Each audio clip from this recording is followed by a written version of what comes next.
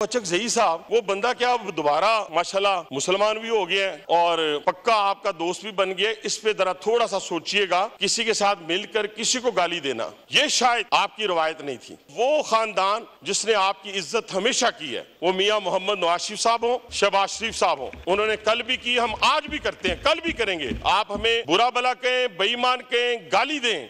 जी हनीफ अब्बासी साहब का माइक और शुक्रिया जनाब स्पीकर। जनाब स्पीकर मैं ये बात करना चाहता था कि पहले भी एक दफ़ा मैंने निशानदेही की है और मेरा ख्याल है मैंने ये जो हमारे एक दो वज़रा हैं जो यहाँ खड़े होकर बात करते हैं, माशाल्लाह मैं इनको अप्रिशिएट करता हूँ कि टेन इन वन है। तो इतना टेन इन वन जो है, ये बंदे के लिए बर्दाश्त मुश्किल हो जाती है। तो मेरी गुजारिश आपसे ये है, आपसे, क्योंकि कस्टोडियन है इस पार्लियामेंट को चलाएँ ना किसी तरीके से, वो चलेगी कैसे जब हम खुद अपना हाउस इन ऑर्डर करेंगे? एक वज़ीर साहब आए पहले, उन्होंने आके बात की, उनको पता ही नहीं था, वो बेचारे पढ़ ही रहे थे, बड़े सीनियर हैं। अब अता साहब पे कितना बोझ आप डालेंगे छोटी सी जान पे, मुझे ये बताएँ पहले, कितना बोझ डालेंगे? इसके अलावा बाकी मुसद्दक मलिक साहब रह जाते हैं।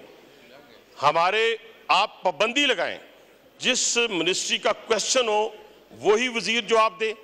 वज़ीर नहीं है तो पार्लियामानी सेक्रेटरी जवाब दे। ये ये तरीकाकार, देखें फिर बाहर लोग जो हमें देख रहे हैं, वो क्या देख रहे हैं? बड़े अच्छे सवाल के जवाब दिए। मैं मैं मैं ज़रा शक नहीं कर रहा जितने जवाब यहाँ पे आए हैं। लेकिन मैं जानता हूँ पैंतीस साल से हम ब्यूरोक्रेसी को जानते हैं, बाबुओं को जानते हैं। उन्होंने लिख के देना है, हमने यहाँ पढ़ देना है। उस पर कैसे अमल होगा?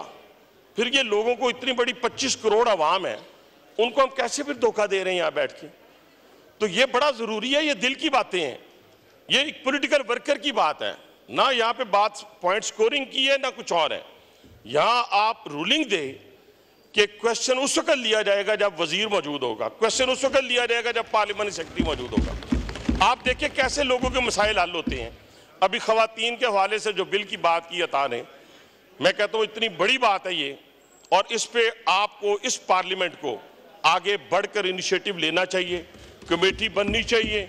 हमारी माँ, बहन, बेटी जो है, वो इस हवाले से तो कम अज़ कम महफूज हो कि उसको अपने जो घर वाले हैं, वो तो अपनी जायदाद में से हिस्सा दें, उनके, उनका, उनके हिस्से का देंगे तो उसमें अल्लाह ताला बरकत डाल देगा। और यहाँ पे मैं समझता हूँ, ये जितने पार्लियामेंटेरियन बैठे हैं, मैं तो 99 नामों के नीचे आज अहद करता हूँ।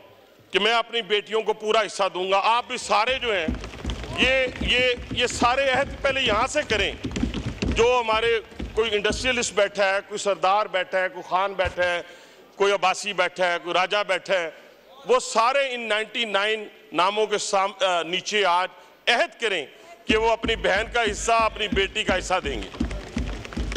नहीं, मैं मैं देते हैं देते हैं, मैं मैं, आप आप, वो तो चोर की दाढ़ी में तिनकी वाली बात हो गई। खुदा का नाम ले। मैंने किसी को नहीं, मैं दूसरी बात, सर, मैं एक बात और, मैं एक और बात, मैं एक और बात, सर। मैं एक और बात, मेरे बुज़ुर्ग बैठे हुए हैं, महमूद खान अचकजई साहब। यकीन माने, मैं 2002 से इनके साथ असम्बली में आता रहा हूँ। कल या परसों जब इन्होंने एक बात की है और प्राइम मिनिस्टर के हवाले से बात की है। मुझे बड़ा दुख हुआ। दुख सिर्फ़ इसलिए हुआ कि इनकी शख्सियत से ये जेब नहीं देता था। और फिर मैं, क्योंकि मुझे अशार ज़्यादा आते नहीं हैं, गैरत है बड़ी चीज़ जहाने तगोदो में। कहते हैं, गैरत है बड़ी चीज़ जहाने तगोदो में। पहनाती है दरवेश को ताज सरेदारा। मैं कहता हूँ, मैं मैं कहता हूँ कि जिस तरह इनका मज़ाक पीटीआई वालों ने उड़ाया, बानी पीटीआई ने उड़ाया, यकीन माने मुझे सोने की कान भी कोई देता ना, मैं उधर मुँह ना करता। मैं कहता, भाईजान वजारत उजमा पास रखें, लीडर ऑफ़ द ऑपोजिशन पास रखें, हीरे की कान पास रखें, लेकिन जो मेरे साथ आपने किया पूरी कौम के सामने तो उस वक्त खड़े होकर कौन डिफेंड करता था? टॉक शो में इन असम्बलियों के अंदर हम लोग थे, जो कहते थे कि नहीं, सियासत में रवादारी को कायम रहना दें। वजादारी को कायम रहने दें।